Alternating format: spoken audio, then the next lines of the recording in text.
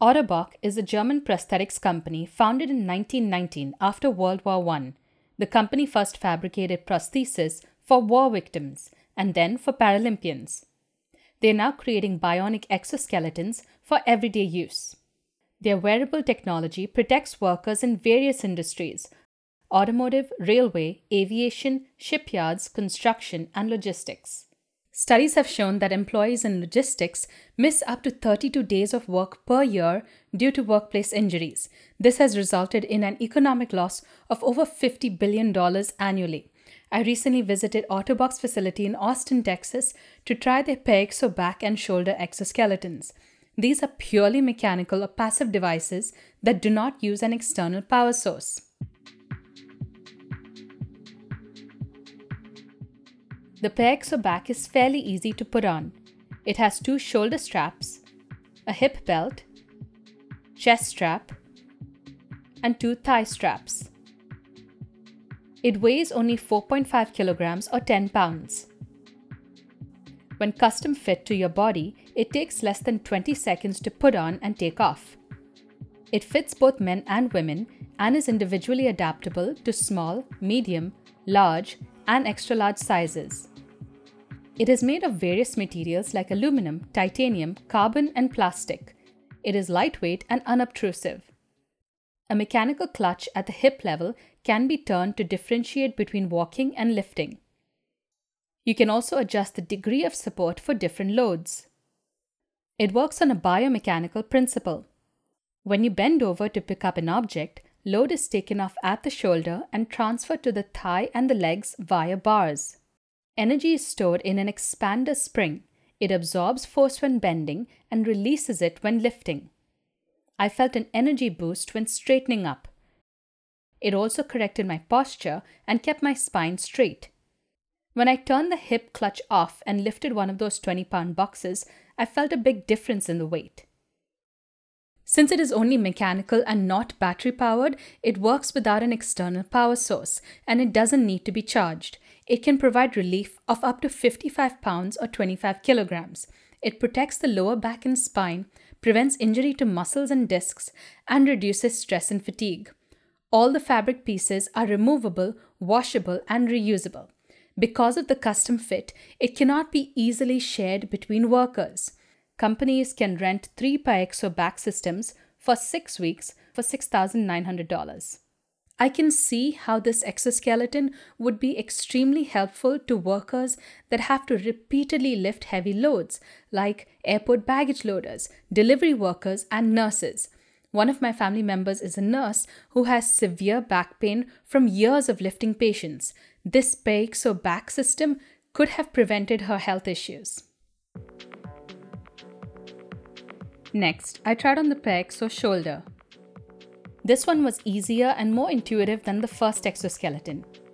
It has two shoulder straps, one hip strap, a chest strap, and two arm supports.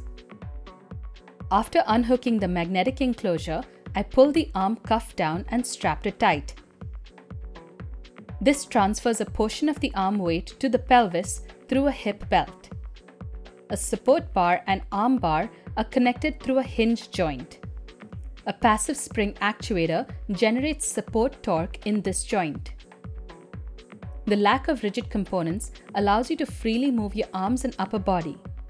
It weighs only 1.9 kilograms or 5 pounds. It can also be adjusted to different body sizes. Raised arms are held up by an innovative expander tech. It is best for overhead work as it relieves strain on the shoulder joints and upper arms. This drill felt almost weightless when I held it upwards. It can be used during neurosurgical operations for overhead work on assembly lines, painting ceilings, sanding, drywalling, electrical installation, and plaster construction.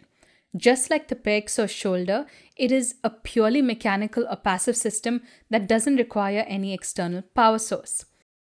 Ottobock also makes Paexo thumb that protects the tip of the thumb against mechanical influences.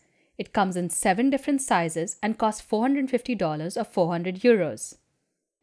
Paexo wrist bridges and protects wrists when holding welding equipment and installing generators. It costs $170 or 150 euros. Paexo Softback supports the lower spine when standing during extended assembly tasks. It costs $280 or 250 euros. Paexo Neck relieves the neck region and cervical spine.